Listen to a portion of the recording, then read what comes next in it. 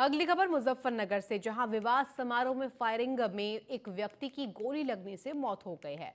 शादी समारोह में गोली चलने से हड़कंप मचा। डीजे पर डांस में बारातियों में विवाद हुआ था, जिसके बाद ये घटना हुई। बारातियों में नाचने को लेकर विवाद हुआ था। खतौली थाने के अंतवाड़ा गाँव का पूरा मामला बताया जा रहा है।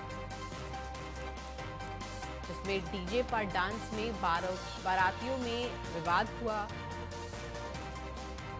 बारातियों में नाचने को लेकर विवाद हुआ और इसके बाद मामूली सी कहासुनी के बाद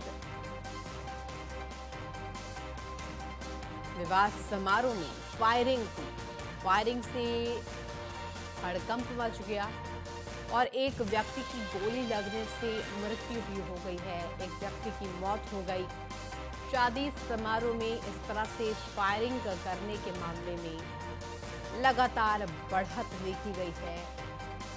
समारोह में डीजे पर डांस में बारातियों के बीच विवाद हुआ था। बारातियों में नाचने को लेकर विवाद हुआ था।